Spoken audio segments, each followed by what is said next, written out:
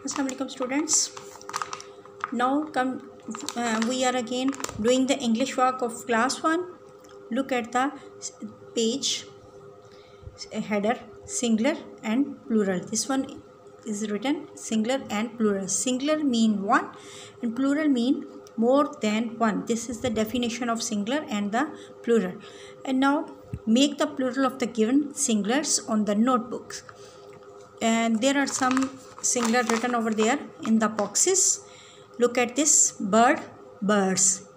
Okay this is the example. And after that cook cooks head heads. Farmer farmers. Tree trees. Chair chairs. You will put the s after the chair chair spell. River rivers. Coat coats and now come to the next question. Add es e to each word to form the plural. We have to add es with each plural. Okay bush bushes written over there. Bunch bunches. Coach coaches.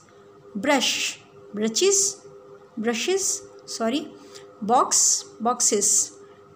Dish dishes bus buses match matches.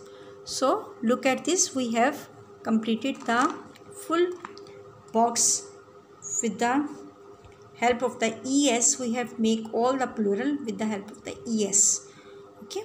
Thank you. Same like this you have to do at your notebook